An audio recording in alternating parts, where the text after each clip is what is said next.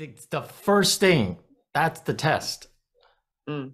because when we get to how can i i can't afford it i don't know if i can then no.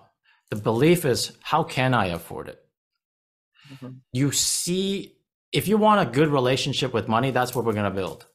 Okay, right now your relationship with money is not Yeah. the greatest. Not yet. right? It's like oh i have to do this. I have to sacrifice happiness to get it i have to sacrifice freedom to get it. I have to sacrifice the right so the first step is you change how you view money